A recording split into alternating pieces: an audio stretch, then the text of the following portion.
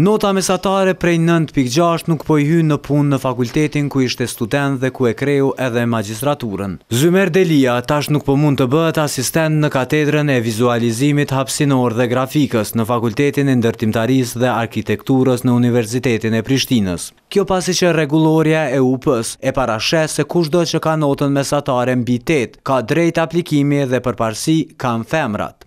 Në rastin tim është përzgjedhë një kandidate e gjinisë femërore e cila e ka notën mesatare shumë ma t'ultë se sa unë dhe si e tillë me këtë rregullore Fakulteti i Ndërtimtarisë dhe Arkitekturës rekruton brenda vetes staf akademik i cili është me kritere më të ulëta se sa ata që refuzohen. Delia po kërkon që kjo rregullore të ndërrohet nga rektorati pasi që nga katër aplikantë ky e kishte notën mesatare më të lartë. S'ka rëndësi a pranohem apo nuk pranohem si bashkëpunëtor i jashtëm, kërkesa ime është m'u ndërru ajo rregullore edhe ata njerëz që votojnë në senat me e qit gishtin në kokë edhe me mendu pak se çka bajnë me rregullore të tilla, se çfarë dami shkaktojnë vendit përmes këtyre rregulloreve.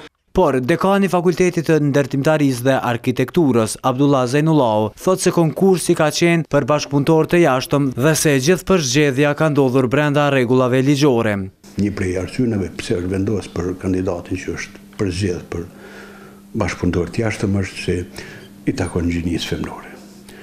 Rregullorja nuk parasheh Përpilim të ranglistës, rregullorja parasheh plotësim të normave, konkretisht te nota mesatare thuhet tetë e mbi.